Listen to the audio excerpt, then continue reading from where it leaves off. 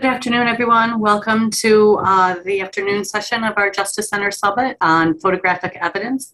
So without further ado, I'm going to turn it over to our Assistant Chief, Eric Fisher. Good afternoon, everyone, and thank you, Davin.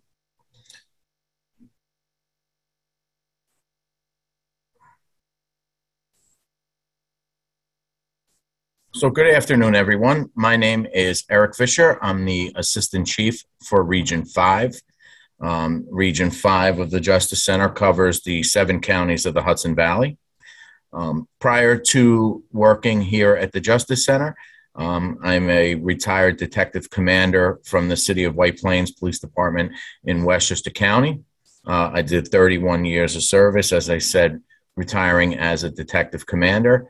Uh, so I do have um, very vast knowledge on photography, um, how important photography is, and how important it is to our cases, and then subsequently later on to our um, prosecution and or uh, hearings that we have. I am joined today by investigator Maura Gagan. Uh, I'll let Maura introduce herself. Good afternoon, Maura. Good afternoon, Chief, and good afternoon, everybody. Um, again, my name is Maura Gagan. I am an investigator out of the Brooklyn office, which is Region 4, which covers the New York City and Long Island area of New York. Um, and prior to this, I uh, retired out of the Los Angeles Police Department as a detective, and I'm very honored to be uh, presenting here today with Chief. So thank you for having me. Excellent. Thank you, Maura. So to begin, um, we're going to jump in to our first poll question, uh, which is going to be Have you used a camera before to collect evidence for an investigation?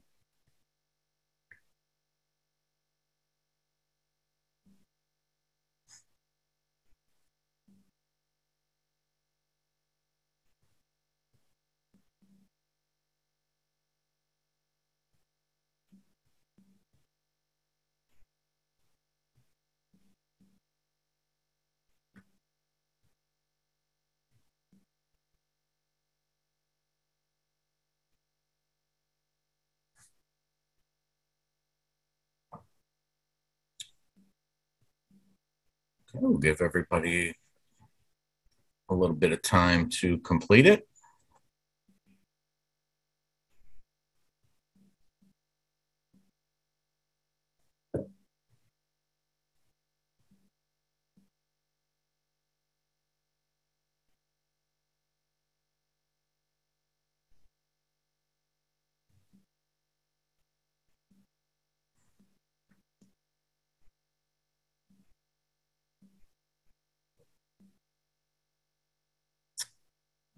All right. If you could just wrap it up. Uh, there we go. Okay, so just the answers to our our poll question. We've had about 64% of you have stated that yes, you have used a camera to document evidence before, and 36% have said no. So this course will be beneficial to each and every one of you, um, whether you've used a camera before or whether you have not. I think we've done a pretty good job with putting all of uh, a, a, comprehensive program together for you today. All right, so we have some objectives for today. Um, we're going to go over each of these in, in some detail. Uh, what's the purpose of investigative photography? Why is it important? We're going to cover that. We're going to cover admissibility. How do we get are photographs to be used in a hearing or to be used in court. Um, we're going to go over some basic principles of photography. We're going to talk uh, in detail about three basic photographic types, different types of photographs that we're going to use for our investigations. We're going to introduce, and probably to many of you, we're going to introduce the use of scales, what a scale is, why it's important, um, why we're going to introduce it into our photographs. We're going to talk about photographing injuries. what we should be doing with photographing injuries, what we should be looking for, and what we should be making sure that our photographs contain when we're inter- when we're photographing injuries. We're going to touch on bloodstain photography.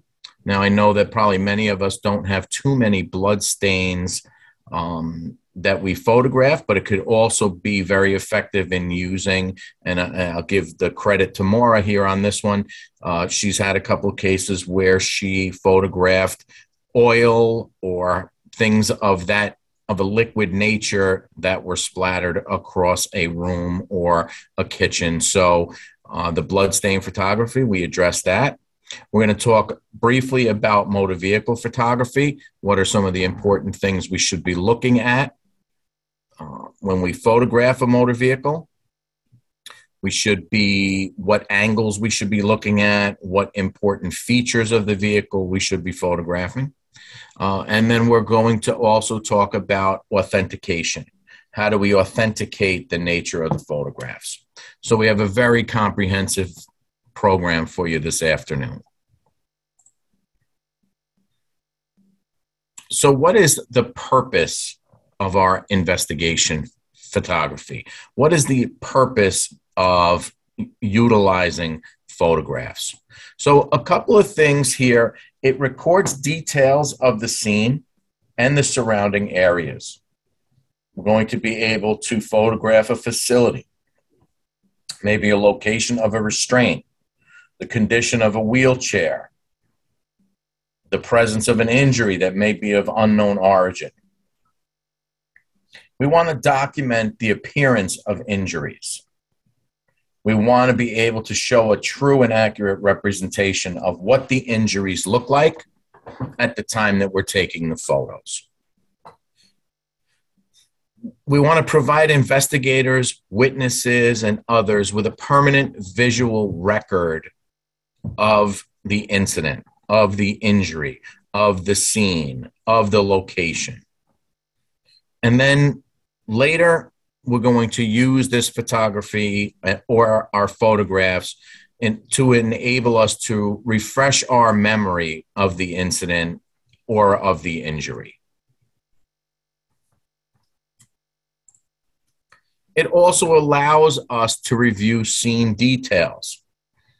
You take a photograph of the scene as it was when you're taking the photograph. We're able to go back as many times as we want to review what the photographs show, what the scene looked like. If you have a question about something, well, I wonder if the door was open or if the door was closed.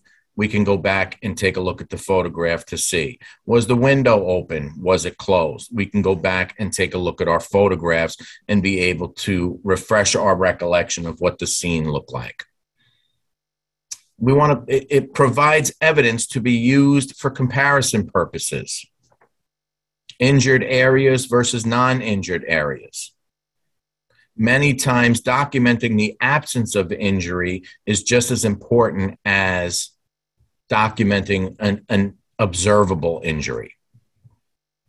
We may also want to use document, we also may want to document the progression of a healing injury. Many times, injuries take a day, two, or three days to fully come out on skin. So, we may want to document that progression. And we want to be able to strengthen our investigative reports utilizing our photographs. We want to be able to use that to convey information at a hearing or a trial or things of that nature.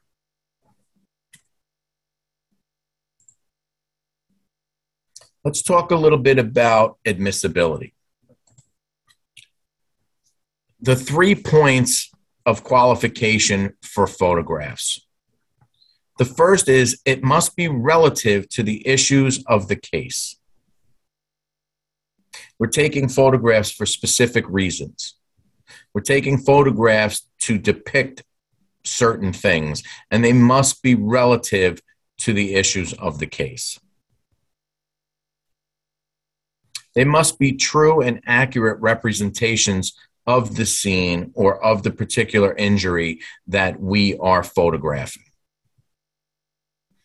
And third, they must have a probative value, and that probative value must outweigh prejudicial effects of the photograph. When we're looking at a photograph or taking a photograph, we want to make sure that it, it's probative in value. We want to make sure it's it adds to our case. So we have some basic principles that we'd like to discuss. Some guidelines as they were. Take photographs prior to collecting evidence. No evidence should ever be removed until it is photographed in its location. In case evidence is damaged during the collection process, the evidence is preserved through photographic documentation. Our photographs should always be taken prior to moving or collecting any evidence. I'm going to turn this next section over to my colleague, Maura. Good afternoon, Maura. Thanks, Chief. Um, so we're going to talk about camera setup here, and some of the stuff might seem basic, but it, it down the line, it, it's going to um, mean a lot when, when we look at investigations and hearings or whether we go to court with these cases. First and foremost, review the instruction booklet. And if you don't understand the instruction booklet or how this how to set up the camera, you know, our, our, our thought process is to talk to the supervisor, your supervisor. Um, why there's a little asterisk on the next one, ensure the date and time are accurate. Um, and Chief will touch on this at the end of this. It's, it's crucial that the date and time are accurate for these photos of when they're being, when they're being taken. Um, we want you to ensure that you know how to download and save photos. Um, again, uh, it's just going to make your job easier. And this last one is in red, and it's in red for a reason. And, and um, we recommend that you never use your cell phone or personal phone or work cell phone um, to take photos. And uh, we mention this because your work phone can be used to review all contents during hearing. And once it becomes known a personal work phone was used uh, for photos, um, it could become an issue. And I know Chief Fisher wants to touch upon this. Thank you, Maura. Yeah, the, in, in my prior career, um, a couple of times I have seen where a detective used his personal phone or his cell or his work issued cell phone to take photographs of a crime scene, of a specific incident or location. And we have to turn that information over to counsel. We have to let them know that photographs were taken on a cell phone, personal and or work. At that point, the phone itself becomes evidence and can become evidentiary in value, in nature. They can seize the phone, they can go through the phone, they can go through everything in the phone because the defense's argument is going to be that there could be exculpatory information on that phone because if you took a photograph of a particular piece of evidence, or if you took a photograph of a particular injury or of a location, then their their argument is going to be that there could be other information on that phone, whether it be a photograph or other information that could prove the innocence of their client. So I have seen it where phones have been seized. So please uh, cameras are issued for a reason. Please use them. And then this way, you never have the issue of having your work or personal cell phones confiscated for an investigation. And Maura mentioned something else about ensure the date and time are accurate. To me, this is a little bit of a pet peeve for me, but it shows professionalism. It shows um, accuracy. If you if you bring forward a photograph that has January 1st, 1999 on the, the, the camera, first, it doesn't look professional. Second, it's not accurate. And third, a defense attorney could use that to say that the photographs can't be used because they are not an accurate representation of when and where the photograph was taken. So just make sure that that as Maura said, that when you set your camera up, that everything is set up the way it should be, and the um, the date, time, etc., are accurate. Thanks so much, Chief. Can you move to the next one? So what we're going to talk about here now is how to take effective photos. And um, some of the recommendations we came up with is become familiar with the location, whether this is a residence or a day program or something else. Um, if we're talking about the actual uh, injury, excuse me, take a look at the in injury and you know decide what type of photos you want to take. We also talked about before, um, also taking photos of the non-injured area. We're going to get more in depth as the slides go through. And also consider taking a series from overall to close-up of uh, what you're actually going to be photographing. Again, that could be an injury, it could be a location. Um, and you want one of the key points here is you want to orient the viewer to the scene. What are we actually looking at? Um, do we actually are we actually looking at again an injury or a location or um, potentially a vehicle on a public street? So we want to make sure the viewer, whoever it may be, knows what they're actually looking at. Um, take the photos. Um, you don't want to later on, you know, think, hey, I should have took this photo. So we, we recommend of um, developing a consistent routine. I'm going to turn this back over to Chief, and we're going to move over to the Justice Center reference card. Thank you, Maura. The before you do that, Chief, I just um, I have one question. Uh, mm-hmm.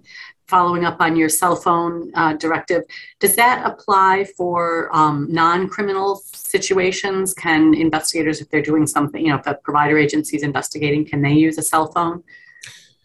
Well, what they can do is if it goes to a whether it's a um, whether it's a criminal matter or a hearing, uh, the defense attorney could absolutely make the argument that they need to see what else is on the photograph uh, on the phone, and they could absolutely for a for a hearing uh, that that we all have been a part of, they could absolutely make an appeal to the uh, ALJ that it's it's important that that we look at the the phone to see what other information is on there. So I would say absolutely um, for hearings as well. It could absolutely be because every subject of a Justice Center investigation has the ability to appeal um, a substantiated finding. So um, and I want to clarify that this training is meant for both providers and Justice Center investigators, but we're obviously this is um, intended for our um, outside entities. So this is appropriate for providers if that's who you are. And one last question, and then I'll let you um, get back into your flow.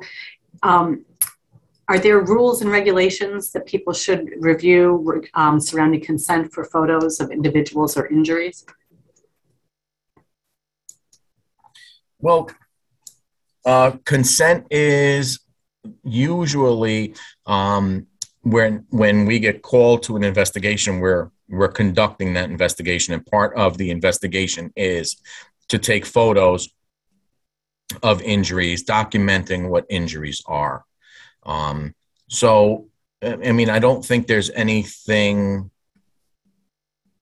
wrong with asking for consent to take the photos. Um, but it is something that we absolutely need for our investigation. So, and, and we have very strict um, laws governing, you know, what information that we have that can ever be shared um, with people. We have to respect people's private health information. Um, you know, HIPAA rules for us too. So it's not like this; these photos go out and they end up on the World Wide Web. That's the last question. Continue on, please. Thank you, Davin. So just to touch on uh, Maura's last point, the, the development of a consistent routine I found is always effective. Um, when you develop a routine into how you're going to photograph things, um, you tend not to omit things. You tend to be able to be focused on what you need to do and how you need to depict uh, what you're photographing. So, um, excellent point, Maura, for developing a consistent routine. So, as we progress forward, um, the card that you're seeing on your screen now is a um, Justice Center reference card. This is not exclusive for the Justice Center. This is a card uh, that is widely available in most um, evidentiary or evidence uh, companies. Um, and basically, this should be used as the first image in your photographic accounting of the incident. It provides very basic information, but it shows consistency, it shows professionalism, and it answers all the questions that you're going to want to know about the photographs taken for your specific case. Obviously, the date and time, what the what your agency is, what your agency case number is, and probably one of the more important things, who took the photograph. So if you use this as a initial photograph with all that information, all the photographs afterwards you know are going to be tied to this particular case.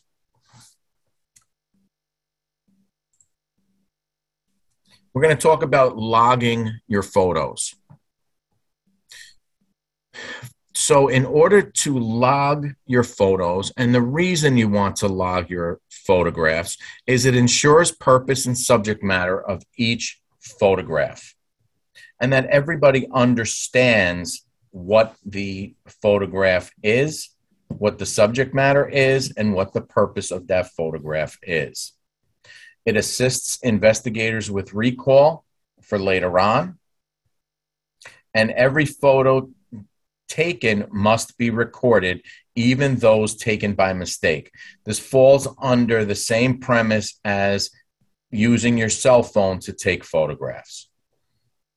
Even if the photograph is taken by mistake, even if the photograph is blurry, um, throughout the course of my career, both of my careers, I've taken many photograph of the inside of my jacket pocket, um, the bottom of my shoes, the top of my shoes.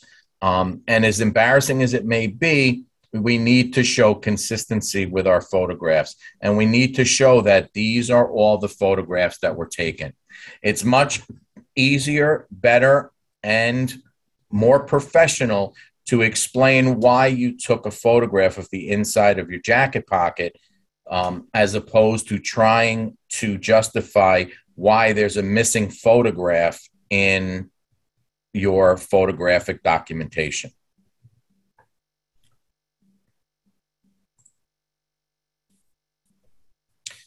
So I'm going to turn this section over to Maura. Maura? Thanks, Chief. So we're going to discuss now documenting photos when, when um, you're taking them in your investigations. The first thing we're going to talk about is using proper nomenclature to denote the photos. And an example we used, and uh, everyone might use different types of nomenclature, but this example we used photo one, and depending on how many photos, you might even go down to photo 1A or 1Z. So it just depends how you folks want to actually document your photos.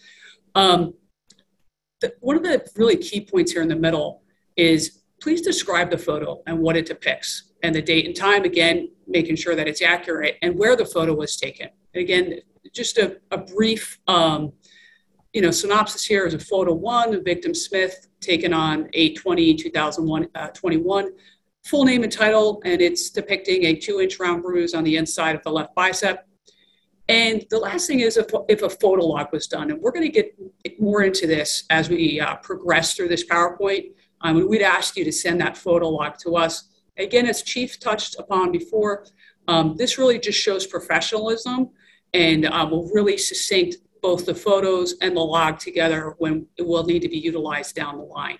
Um, Chief, do you have anything on that? No, it's the the photographs this way. Um, it also helps with recollection of what photographs you've taken. Um, when you're discussing this case, possibly with your supervisor or another investigator, um, and somebody says, Oh, uh, did you take a photograph of this? You'll be able to say, Oh, yeah, I think I do have a photograph of that. You'll be able to go right to the photographic log and, and just quickly look down and say, Oh, yep, I have a photograph of that, and here it is. And it, it really works excellently with photographic evidence. You're able to keep everything succinct, in order, professional, as, as we've always said, professional, and it shows everything. And in this day and age, it's all about transparency, and you're going to have everything right there in front of you. Thanks. I have a, just a couple quick questions um, from the audience. One is, um, you know, people receiving services can refuse to have um, a photo taken of their injuries. Do you have any suggestions um, when that happens for a provider agency? Maura, I'm going to turn that over to you uh, as one that's actually in the field taking the photographs of uh, of service recipients. You know, I think honestly, every situation is going to be different. And um, I think I, I, would defer to each and every investigator on here that you're going to use your best, judgment, excuse me, in taking those photos. And if it comes to the point where you're going to potentially upset somebody, you may want to weigh those options at that time and come back uh, potentially later, even in the day. Thank you. Um, and then is the Justice Center reference card that you referenced earlier, you know, to get the size of the um, wound, is that available to provider agencies? Without a doubt. You can go on, uh, there's several different um, evidence companies that are out there. Uh, one that jumps to mind is Sirchie. The name of the company is Sirchie, S I R C H I E. Uh, it's an evidence um, company based company that has all sorts of of evidence equipment um, and these these photographic cards are extremely common great thank you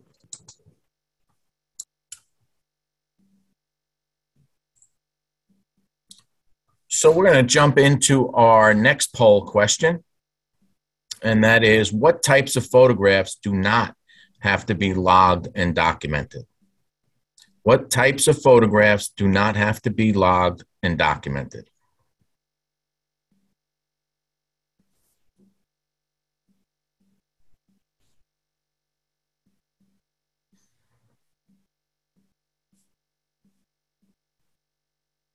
Our choices are photos taken by mistake, blurry photos, duplicate photos, none of the above.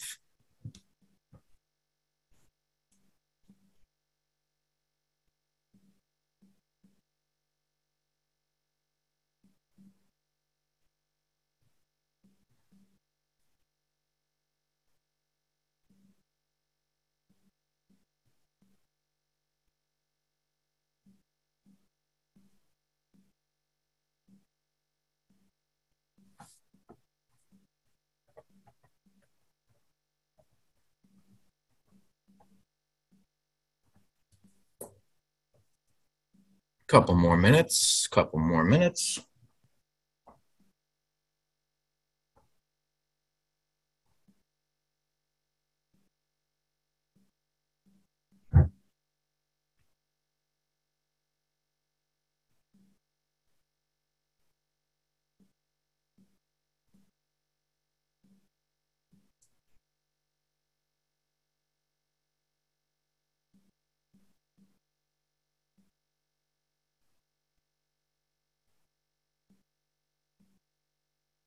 All right, we should be wrapping up.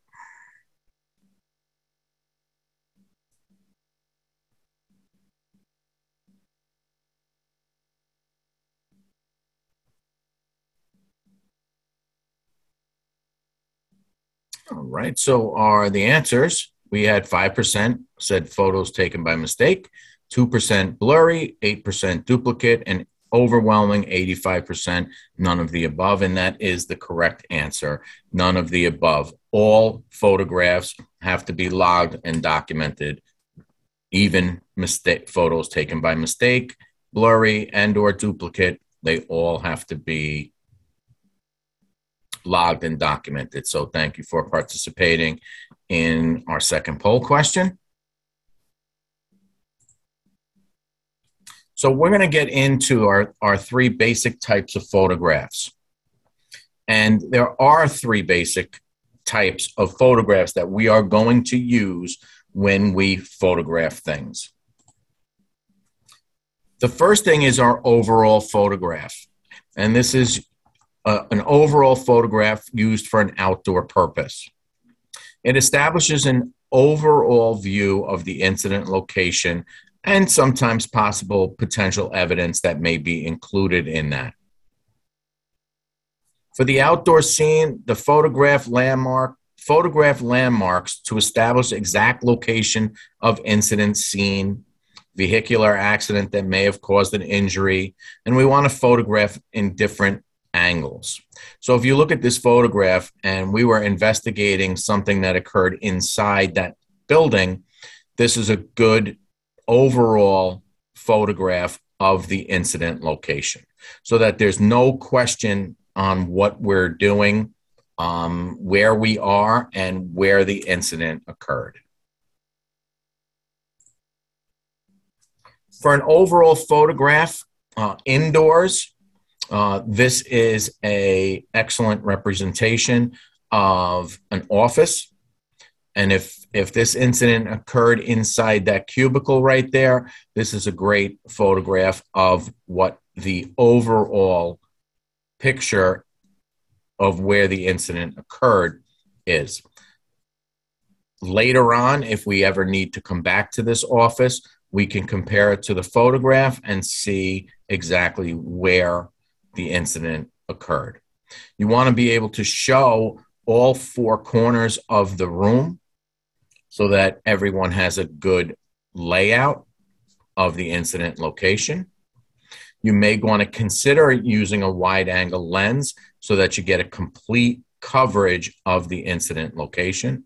Uh, it may not be available. Some cameras may not have it, uh, whatever the case is. But if you do have it, this may be a, a good area to use the wide angle lens.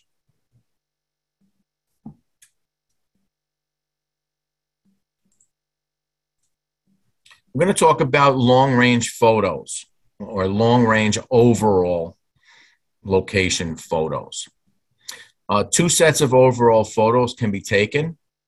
Uh, we can do prior to the introduction of any markers and after the introduction of evident marker, evidence markers if applicable. We're going to talk a little bit more about evidence markers um, shortly, but we want to be able to um, show the overall place that we're looking to photograph.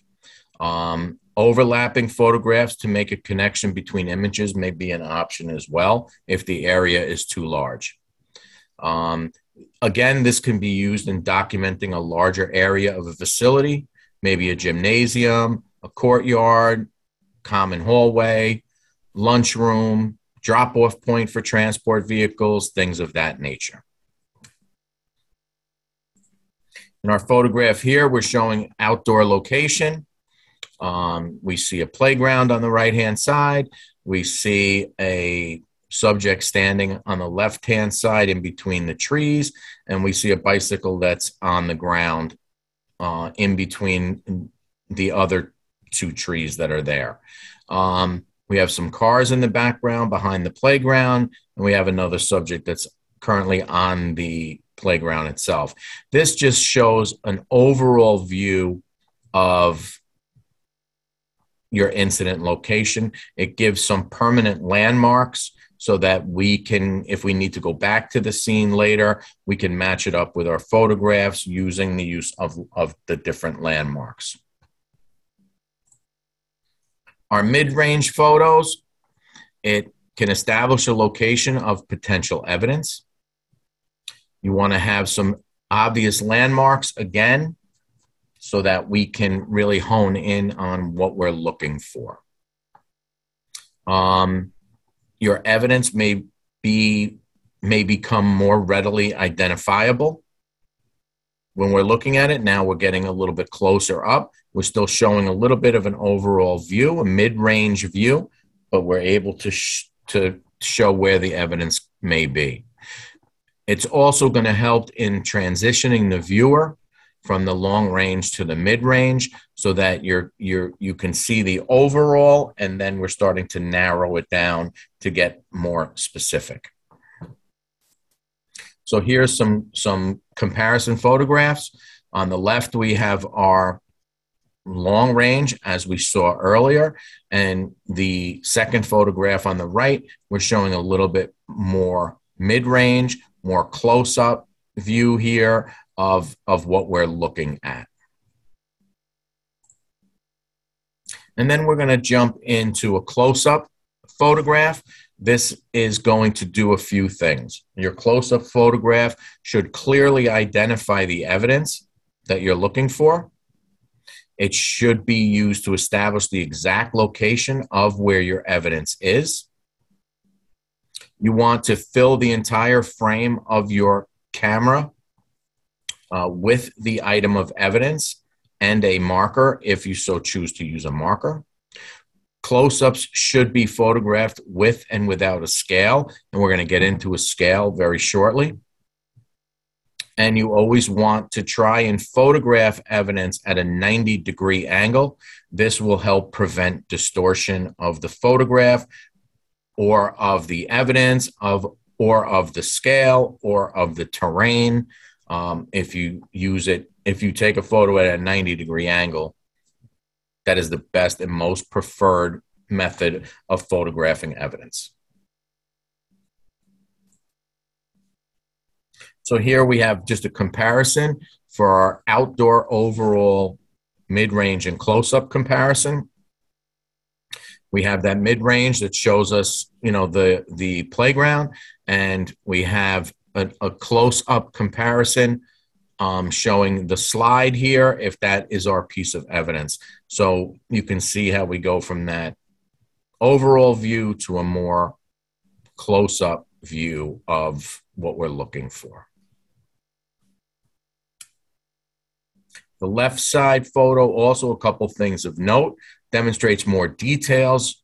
We have a stop sign here. We have a child in a t shirt. We have some vehicles over here one with a convertible top if you if you look hard enough um, and the the right side demonstrates a more specifically you can see the park bench more clearly um, you can see the actual swing set where on the left photo you don't actually see it because it's too far away um, and an up close view of the slide Maura? Thanks, Chief.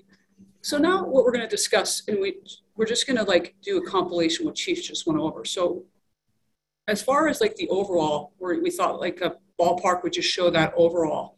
We look at that mid range. We have that batter's box with the chalk outline and the home base plate. And then we look up the close up with the home base plate and uh, the baseball. So this just kind of just ties everything up for you folks when we're just talking about the progressive type photos. Chief, if you could move on to the next one, please. And so this one here now, we have the progression of the vehicle. Um, again, from the overall, if we're going from left to right, we have the red vehicle, driver's side window. Um, window appears to be down a little bit. We're looking at that mid-range one in the middle. You can see some clearly uh, marks notes on there, marking where there's um, fingerprints. And on the close-up now is going to be like the first introduction we're showing of a scale. Um, and Chief and I have both agreed these are the most perfect fingerprints we've, we've ever seen, picked up on something. Um, but this scale is what Chief referred to as before on that angle of um, illuminating the fingerprints um, on, on that window. Um, Chief, do you have anything on this? Yeah, just, just to touch more on what you said, um, that is a right angle um, scale. it's not, it's used for a couple of different things. Um, it shows the exact location. It highlights the exact location of the evidence that you're photographing. It also measures them for you so that you have a scale, you have a measuring device right there, so you know exactly how, um, what the dimensions are of the fingerprints that you're photographing. And those little circles with the plus signs in the middle, those are used to show that the photograph was taken at the proper 90 degree angle. If the view was different, if the camera angle was different on that, those circles would not be symmetrical. So that's just a little um, warm up to when we when we get into the use of scales.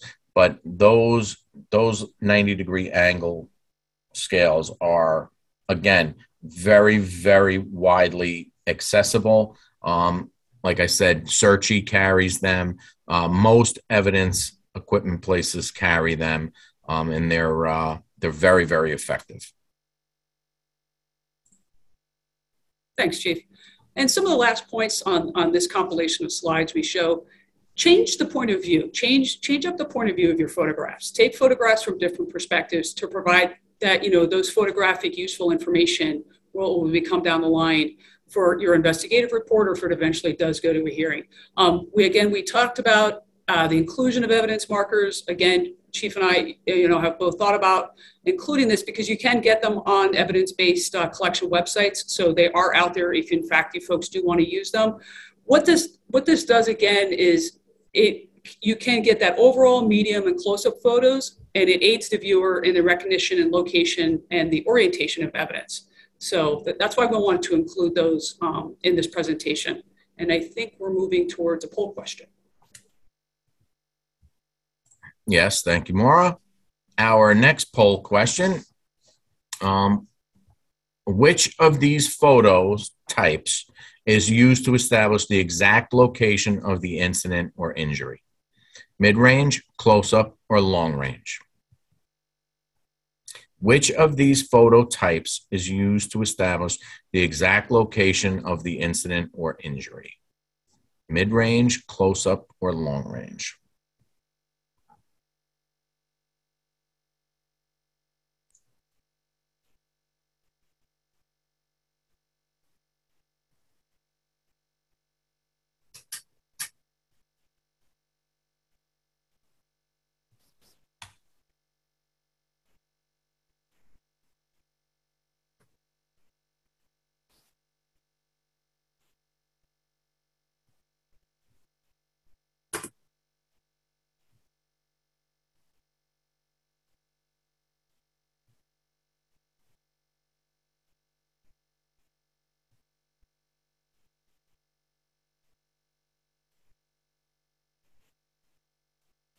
We'll give everybody another few seconds to finish up.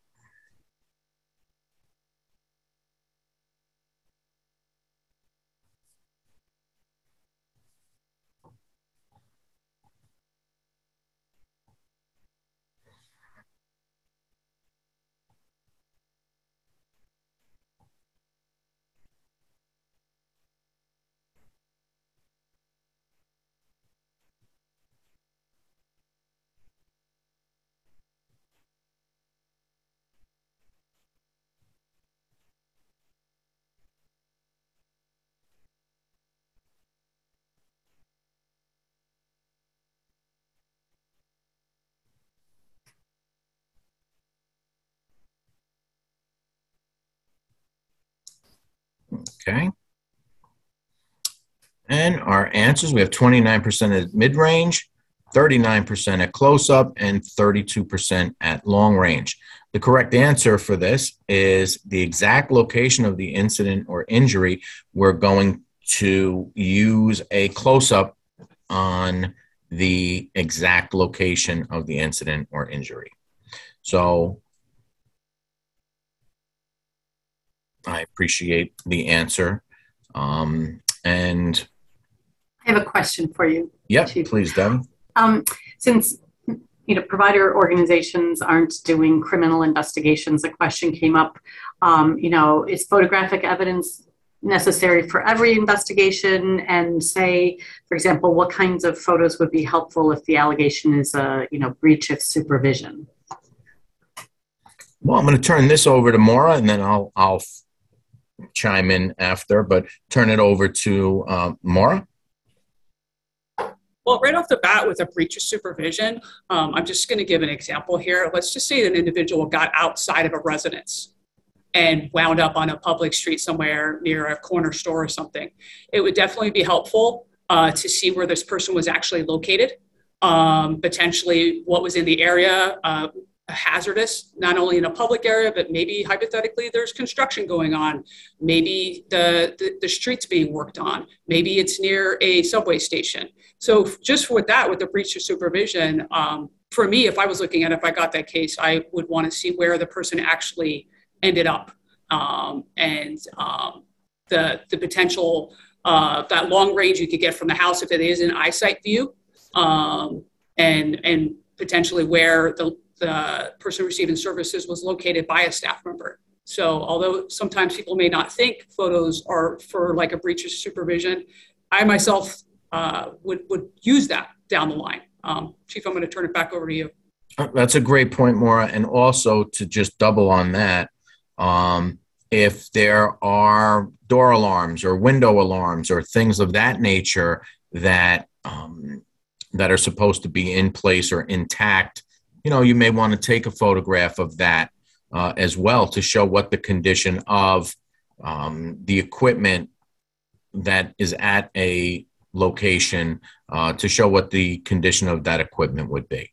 So I, I think to to go along with Maura's point that each each individual case is different and you need to look at the totality of it and photographs are definitely um, a way to show um, how things looked when when you had gotten there so like i said if if they had window alarms and and the the the person receiving services got out through the window well what were the conditions of those windows alarms uh, the window alarms were they even on? Were they not activated? Were and a, and a quick photograph of that will definitely uh, enhance your case.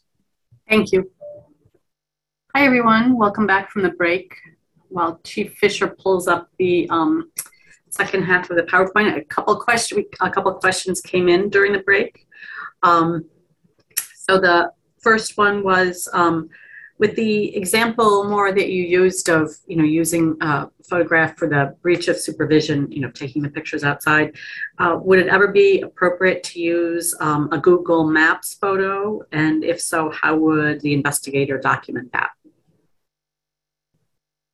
That's a good question. Um, I would honestly defer to your own agency's policy of that, if there even one is in existence. Um, I've used them in investigations, but that's gone through supervision and supervisory review of me to uh, using them in investigations.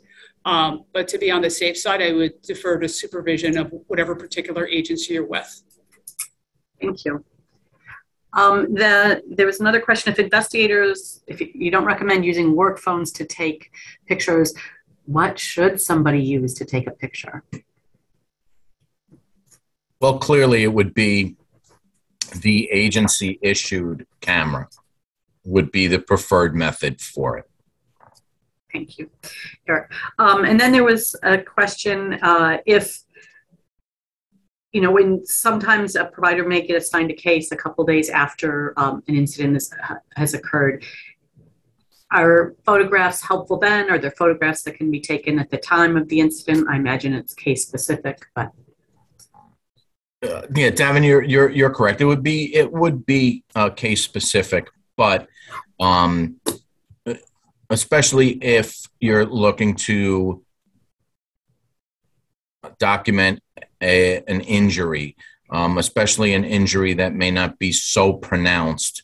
Um, you know, two or three days later, the injury could uh, disappear. So you you really have to take it as a as a case by case basis. But you know, photographing a location, photographing uh, different things, um, you, you can absolutely do it a couple of days later. But you really need to. And, and what I'll go back to is one of our initial slides with what's the probative nature of that photograph is it going to does it show a true and accurate representation of what you're looking for and if the answer to that question is no then you may not want to take that photo Thank you.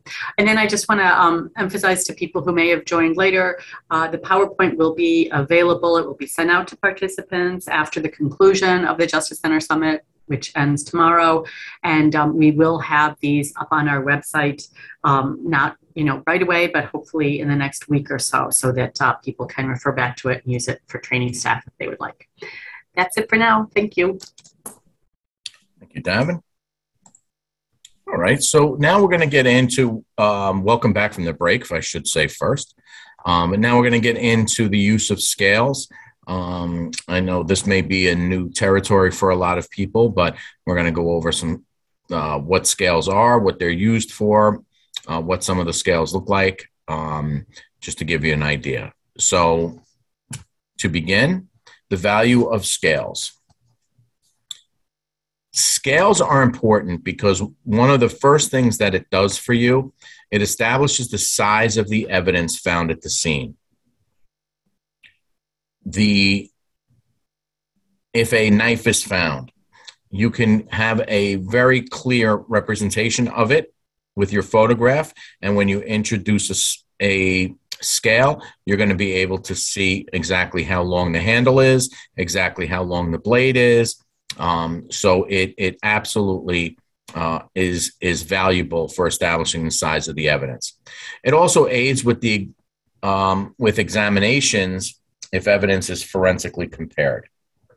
If we're looking for a size 9 shoe and the shoe print that we took a photograph of and used a scale on is shows a size 10 we know that and we'll be able to do we'll be able to know that through the use of the scale make sure that your scales include a unit of measure in the scale that's utilized some scales don't um, but just make sure that it includes the unit of measurement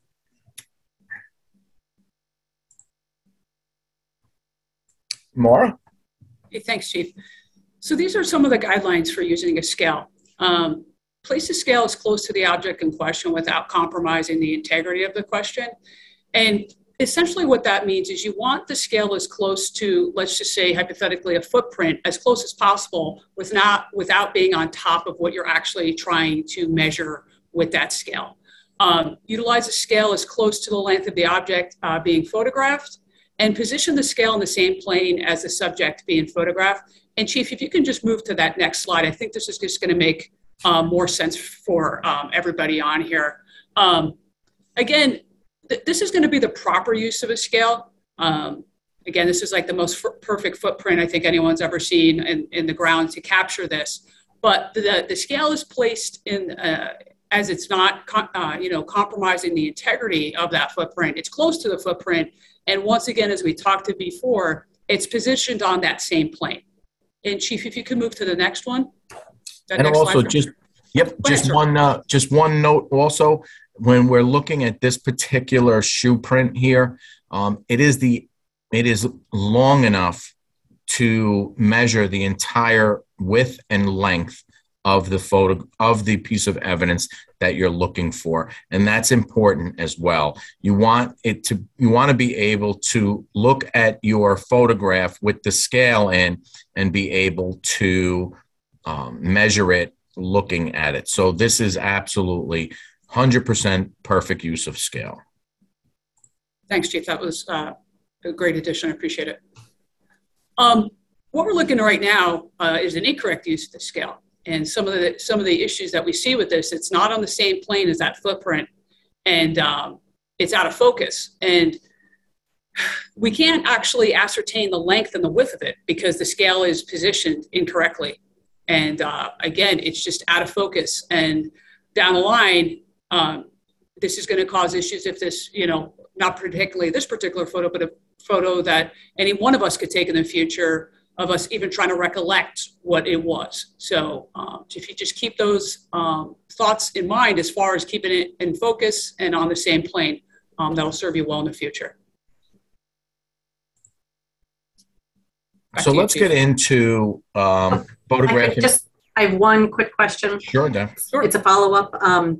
So uh, you mentioned before that provider agencies should use, you know, a, a, camera to take pictures.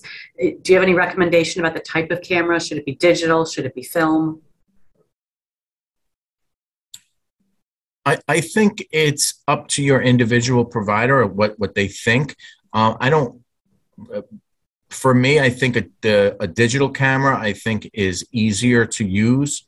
Um, it's the images are more easily stored and saved. And um, so my suggestion would be a, uh, a, a, digital camera. Maura, any, uh, any suggestions? I 100% agree. I think digital uh, at this time, if, if, your agency is going to invest in one, um, is going to serve you well down the line. You know, one of the problems with uh, 35 millimeters is depreciation of photos over time. Um, with digital photos, you're going to have that uh, log that you can create online. Um, So you're just not going to have those depreciation issues with um, regular film photos. Thank you. And um, uh, just one last thing that I'll clarify. Um, when we're talking about, you know, agencies having, you know, cameras available and using those, we're recommending best practices. We are, these are not requirements. The Justice Center, you know, does not issue requirements for provider agencies. So these are best practices based on our experiences, um, right? Anything else you want to add to that, Chief Fisher or Maura? Thank you, Devin. I appreciate that. And uh, yeah, we, I probably, and I apologize. I probably should have started the presentation with that. Um, but thank you for pointing that out, Devin. I appreciate it. Okay, thank you. Carry on. Okay, so we're going to get into photographing injuries now.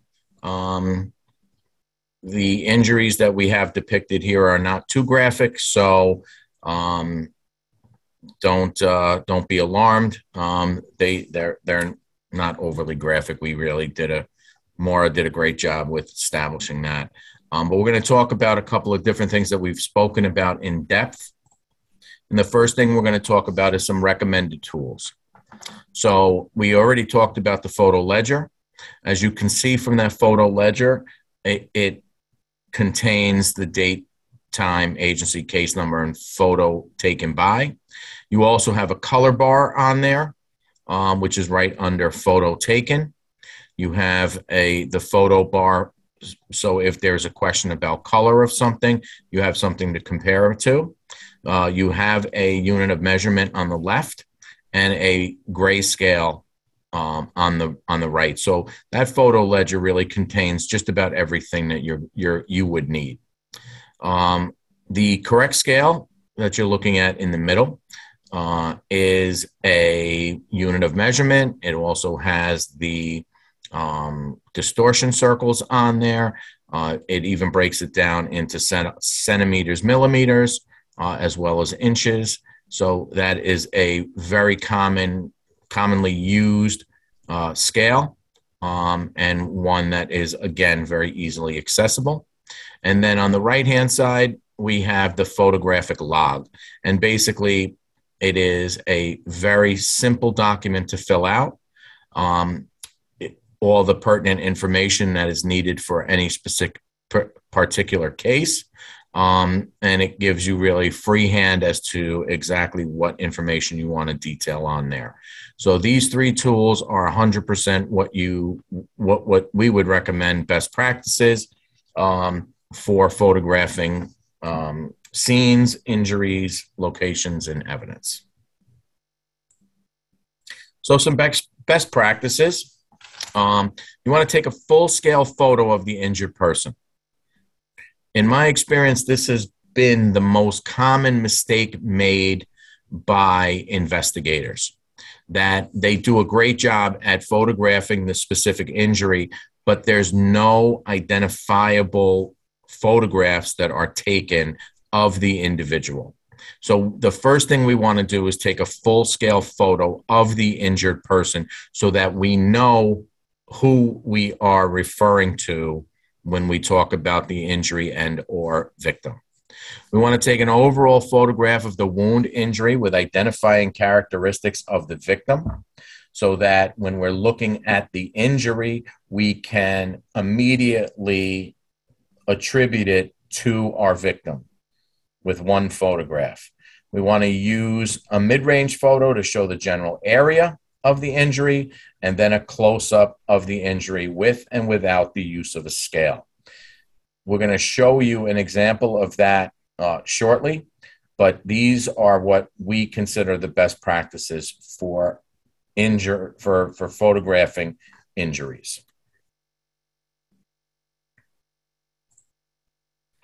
Some more of our best practices. Sometimes we want to vary the perspective so that you can get a different angle of the injury, get a different view of the injury.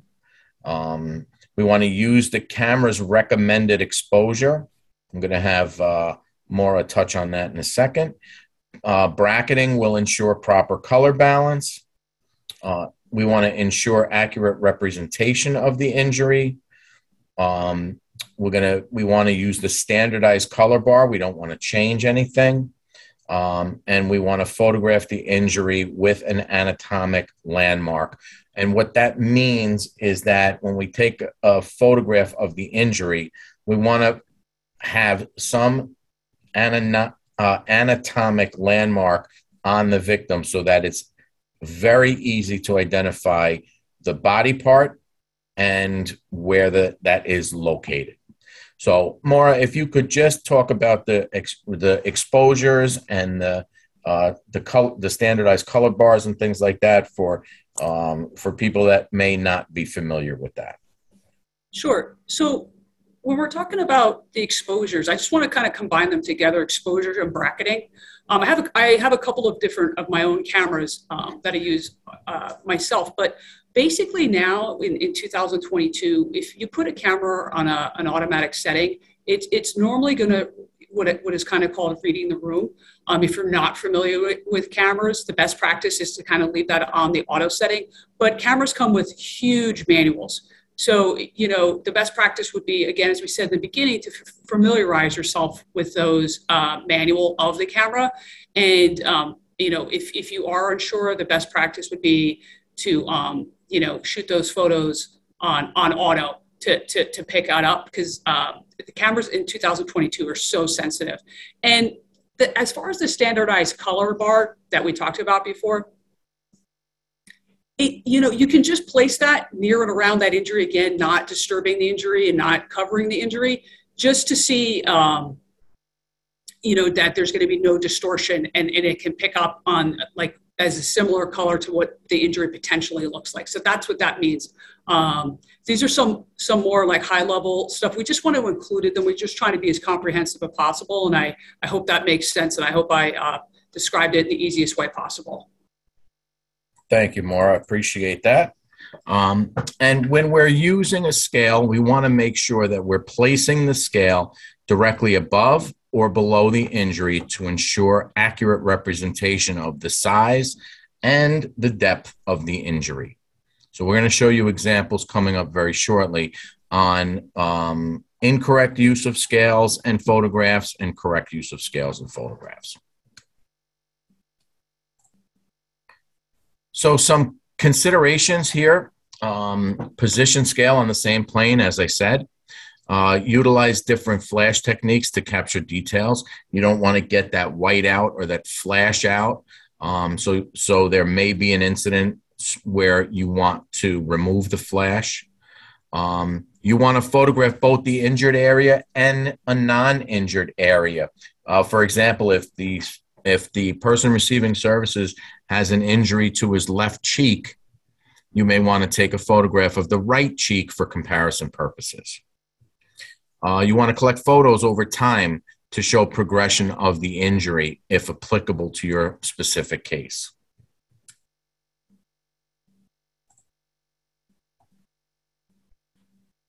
Maura? Thanks, Chief. So what we're going to do now is look at a series of photos and um, you guys, uh, all of you can place your answers in the chat box. I'm just going to ask some questions and just get some feedback from from everybody that's on here today. I'm little more interactive. Um, want you folks to think about: Is this in- injury accurately documented? Um, is the scale? Is there a scale uh, to measure these injuries? Um, what's missing? Is there anything in this photo that could have been done better? Um, some things maybe to think about: more photos, other angles, range of photo- photos and do we even know what body part this is? Um, so if you could just take a take a minute and just um, you know provide some answers, um, and we'll go from there.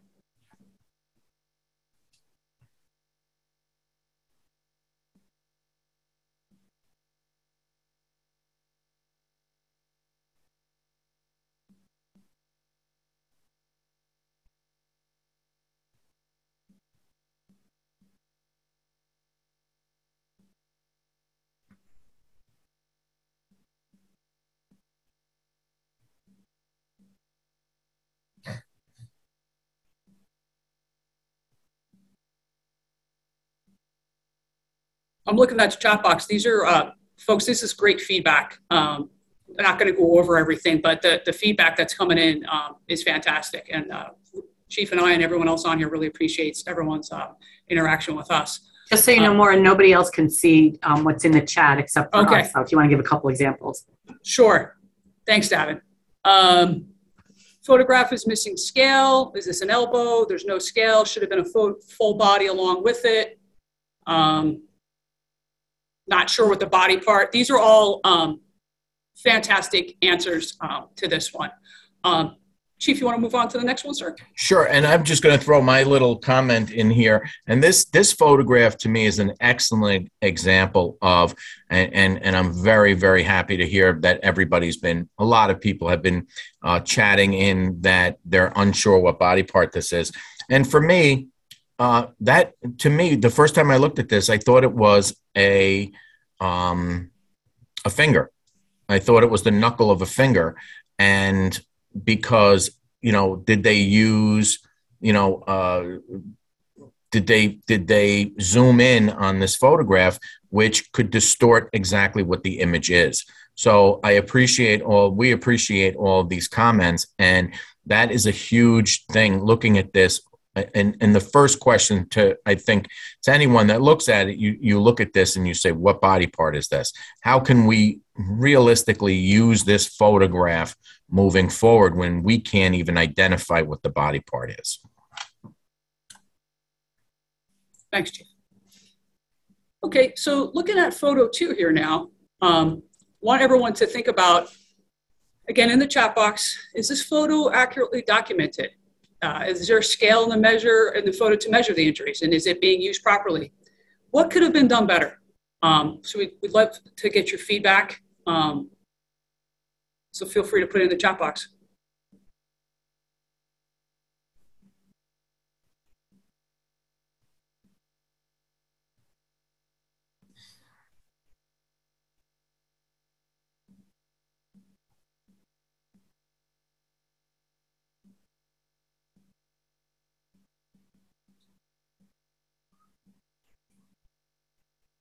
And I'm just going to read a couple of here. There's a date and time.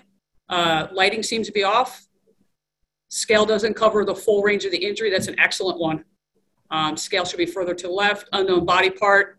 Um, folks, this is all uh, great. Chief, do you have anything on this photo? No, the same. I, I, I think the observation of it, it's not uh, in line with the entire um, injury, I think is a, a excellent observation um, because it's not, and that that distorts the nature of the injury. So, is this an accurate, a true and accurate representation of it? No, because it's an incorrect use of the scale. And agreed. Another one. What body part is this? I, I don't think anybody can really honestly look at this and and give a definitive answer as to what the body part is. So excellent, excellent uh, responses. And this is going to be the last photo today. Um, again, we'd love to get your feedback in the chat box. Uh, is this injur- injury actually uh, accurately documented? What could have been done better? Um, just, just, just put your answers out there and uh, we can check out your feedback.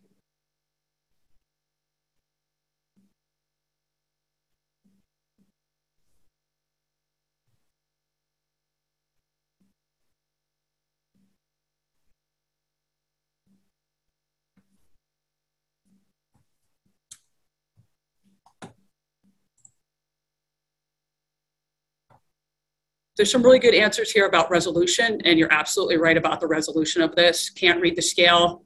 Um, uh, there's great one. Um, each individual injur- uh, injury should have been a use of a scale. Um, cannot read scale. Missing a mid-range.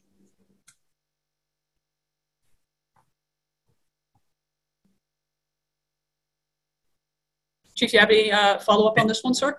And when I look at this photo, the thing that jumps out to me is this is a, a perfect example of the need for two photographs the need for one with the scale and one without the scale. And the reason I we bring that up is because the first question that comes to my mind is because there's multiple injuries here, are there any injuries that are underneath the scale?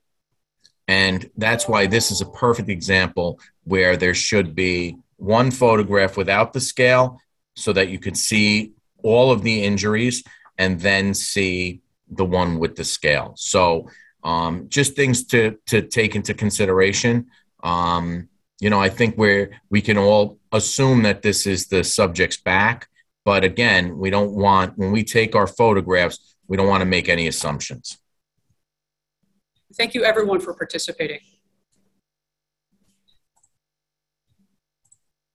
Hi, a question came in. Um, what's the proper way to photograph more sensitive areas? Should those be avoided with regard to photos? Again, I'm going to to defer to the individual investigator and the individual case. Um, yes, we, we, we all know that there could be injuries that are in sensitive areas. And, you know, I would definitely consult with your supervisor before any of those photographs are taken um, and go from there. If we're taking, uh, if, if there is a need to take photographs of sensitive areas, I think that then at that point, this would more than likely be a police investigation. There would be um, hospital uh, uh, nurses involved or uh, child advocacy centers that are involved um, and things of that nature. So I, I would defer from that, but have a discussion with your individual supervisor before those decisions are made. Maura, any uh,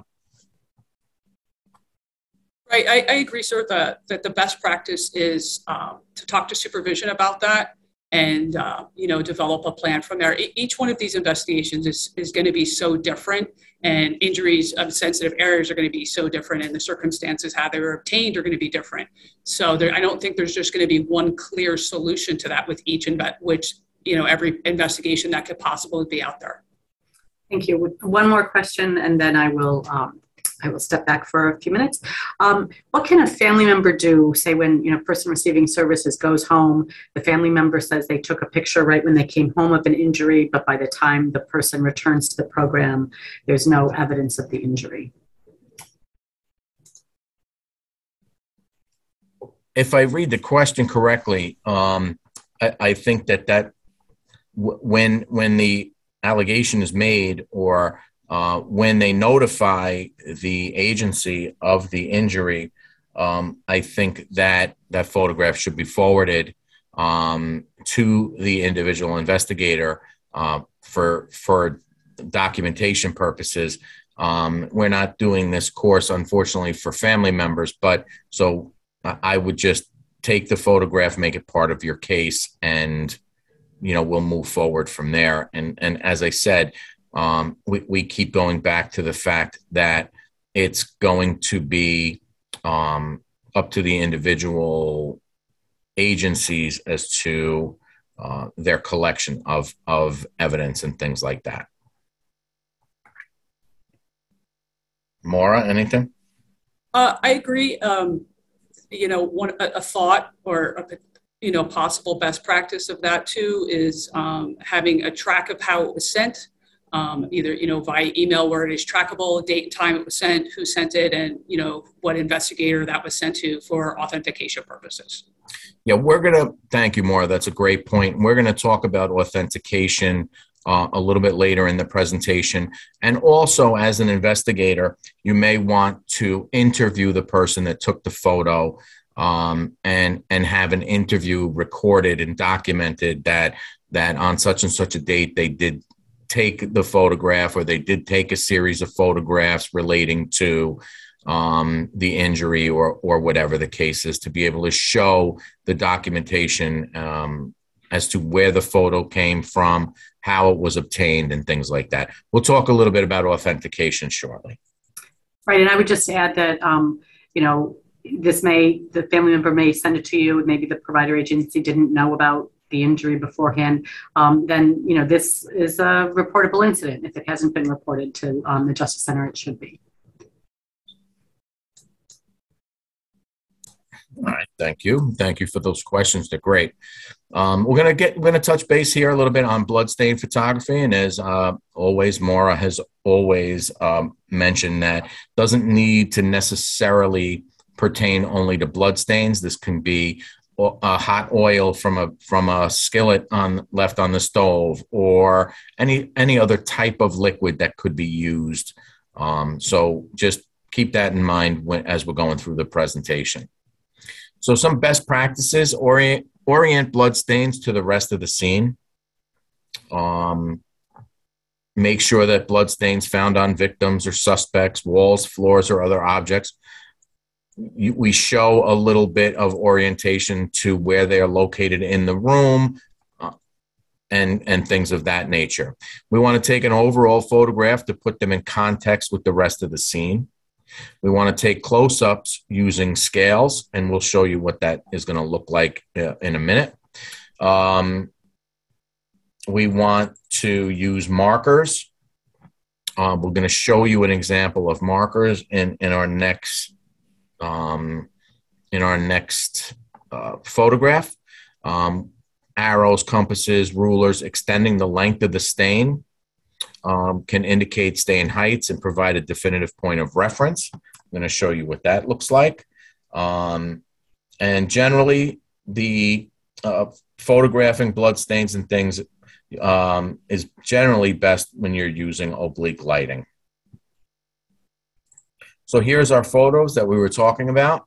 So we have a mid-range photo, which clearly shows uh, orientation of the blood stains um, the blood spatter, things like that in perspective to the rest of the room. Clearly have landmarks that are easily identifiable. So, very easy to make an orientation on where the stains are uh, in the room. Our close up photo, we can clearly see our stains and spatter. Uh, the marker that they use are numerical markers here for this particular case. I always found that numerical markers work better because they're given a number and that number is going to be exclusively for um, for that person. Maura?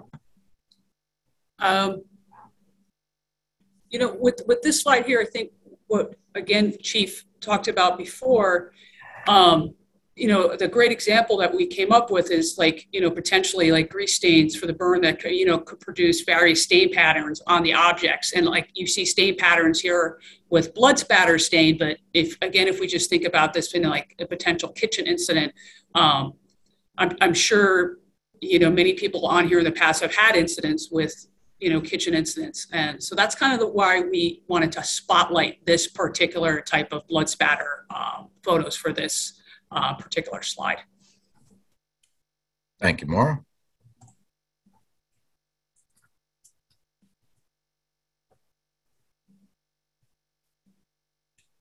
Mm, yeah, okay. please, Maura. Gotcha, gotcha, Chief.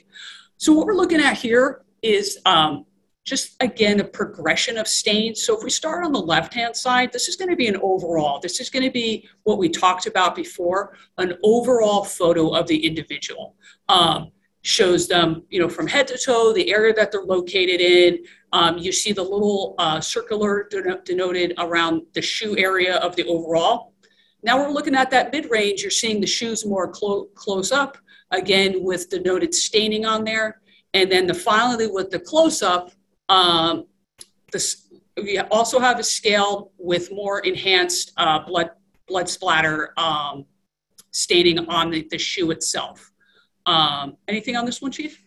My, my the, one of the things I can say about this this photograph or this slide here, this this is the essence of why we're teaching this course. These the progression of these photographs. This is exactly the way it should be done.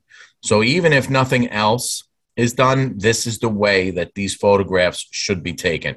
Clearly identifies the victim or person of interest on the left clearly shows his entire body, what he's wearing, everything. The mid range photo clearly showing his jeans and his shoes, clearly a match to the overall photo and then the close up clearly showing the evidence where it's located with the use of a scale and you see the progression. There's no disputing what and who and where the evidence is located. So this is really um, one of the more important photographs that that we have or slides that we have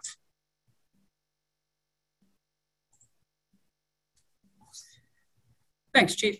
Um, so this is just, we're going to be talking just very quickly of the use of carpenter ruler on documents, heights of bloodstains. Again, um, everyone uh, on here, if you just orient yourself to various stainings that can occur or when you document it during your investigation, um, is, is try to use a carpenter ruler to document the heights of staining. Um, that could again be anything from grease stains to hot coffee stains to hot water. Um, if they do, if they had any type of grease in there, will also leave staining on the walls. Um, just to just to be able to measure that. Uh, Chief, do you have anything on this one, sir? That's a great point, Maura. And just just so that we're we know for orientation purposes where the stains are.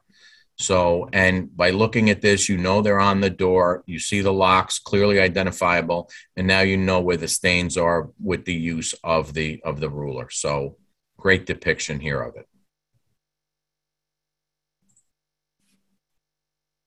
So, we're going to move a little bit into motor vehicle photography.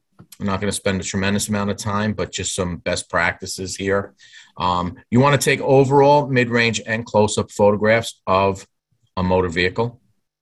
You want to photograph each side and all four corners of the car. And for your close ups, you want to do identifiable things that make this car or vehicle completely identifiable. You want to take a close up of the license plate, of the VIN plate, usually located on the dash. You want to, any bumper stickers, decals, anything that, that is unique to that specific vehicle. Um, any unique identifying appearances, a uh, you know a dent, a scratch, something that can clearly identify the vehicle later on.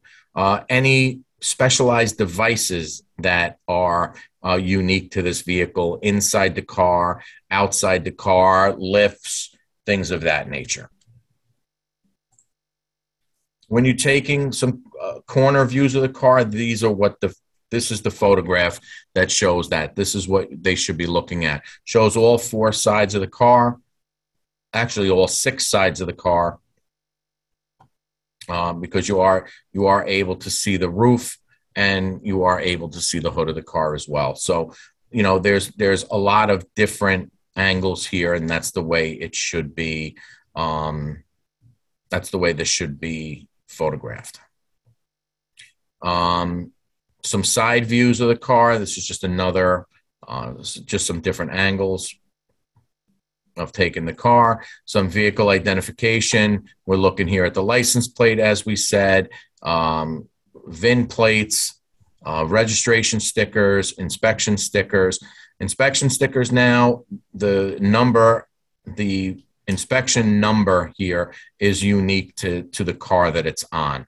So it is a very um, strong identifying feature uh, for the vehicle. Some quick photos of the interior of the car. You can see, we can see the driver's side compartment, um, the, the back seat passenger compartment here. Um, we have the inside cab from a different angle, and lo and behold, there we find our evidence sticking out of the ignition. So just some some ways to photograph the car to to, to show identifying features. So we're going to talk a little bit about authentication um, and just how do we authenticate the photographs that are taken. So our first is the New York State Administrative Procedure Act 306. Trial court requires authentication of all photographs or videos offered as evidence and made part of any record. So, what this means is, um, and I'll just read a, a, an excerpt from it.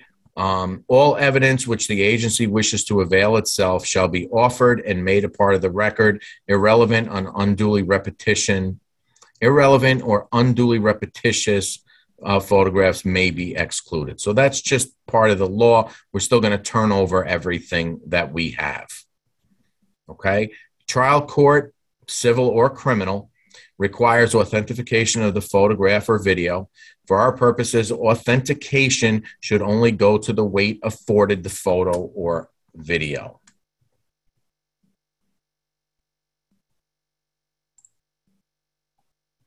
Authenticating photographs. Um, what would authentication of a photograph look like um, in a Justice Center administrative case? So, what we're going to talk about is uh, witness statements for photos or videos can be in writing or recorded audio statements. So, what we were talking about just before, if we are provided with a photograph uh, from a witness, how do we authenticate that? We take a statement from them. Uh, we take a written statement or a recorded audio statement, who the person was, what their position is, uh, and why they took the photograph or the video of the scene. We want to do the same thing with a witness. And one of the questions that we want to ask uh, during this is if the photograph is fairly and accurately a depiction of what they're looking for. When, when you take a statement or an audio recording from a witness or uh, a, a person that took a photograph of something is you want to ask that is it fairly does it fairly and accurately depict what you're looking to photograph familiarity with the incident um, for a witness to the event or if the person is familiar with the incident, a witness statement indicating they are familiar with the person, place, or thing depicted in the photo. So they may not have witnessed the actual incident, but they may have witnessed or seen the victim after the incident with the injury. So you want to make sure also with that person that you're taking a uh, statement or audio recording um, that they are familiar with the person, they're familiar with the injury, and that it fairly and accurately depicts um, the person, place, or thing that you are photographing.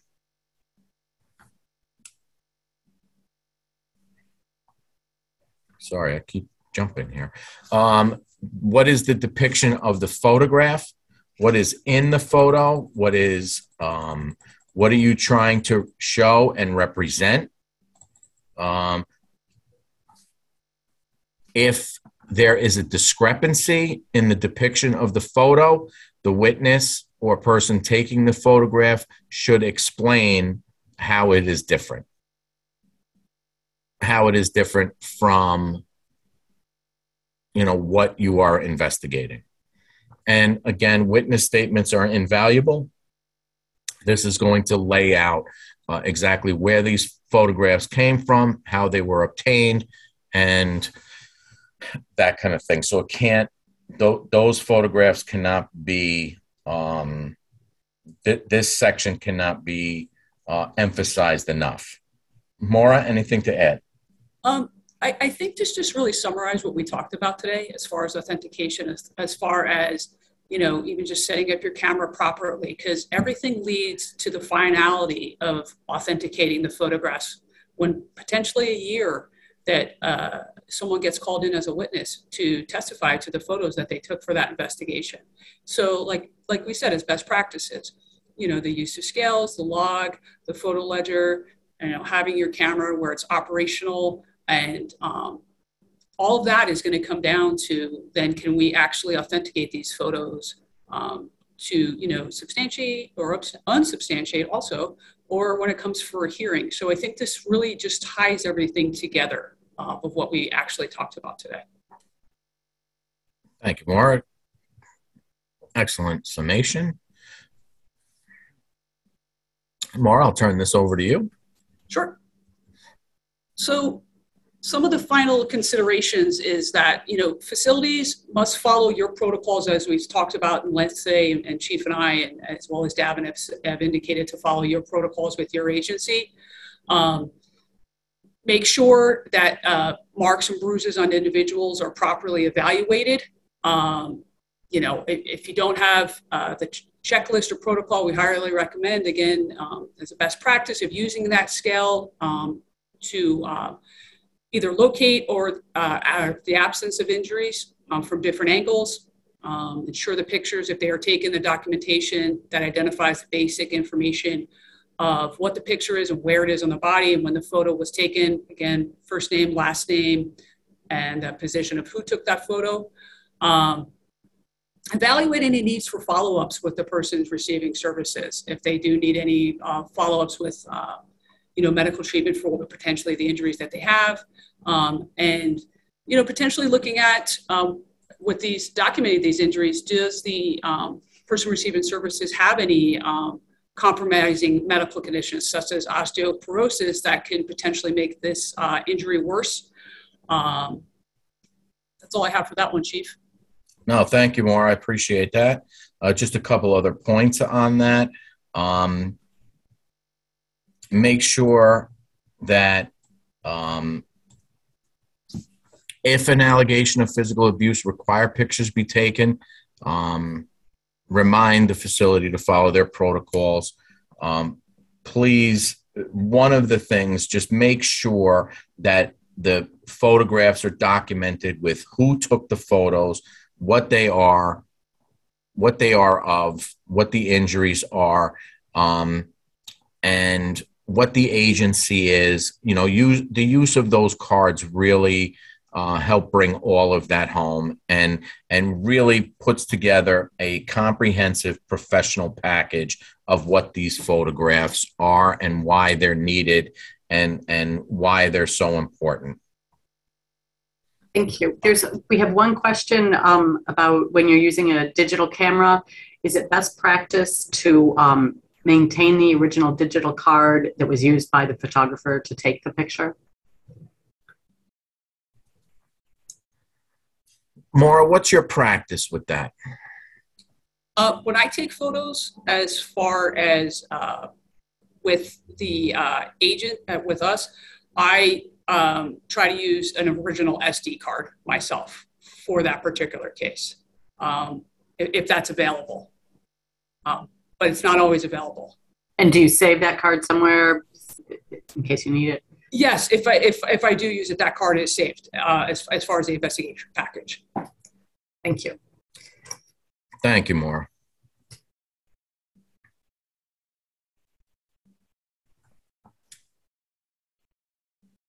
And okay, so to summarize, uh, as we've done, um, investigative photographs can be a valuable, valuable resource. Can't overemphasize that enough. It really people are going to be looking at these photos well after the incident, and determinations um, are going to be made more than likely based on those photographs. So they are a very big and valuable piece of your investigation. Correct camera setup and knowing the location and nature of the incident are critical to your photographs. Um, taking a series of photographs from long to close range um, be sure to log and document all photographs. We've we've really really stressed that a lot today. Um, if effective photographs orient the viewer to the scene, because remember the people that are going to be looking at these photos were not there. They were not at the scene. So your photographs are going to tell a huge story. You want to capture unique or identifying features for easy identification purposes. You want to use a scale and use it correctly.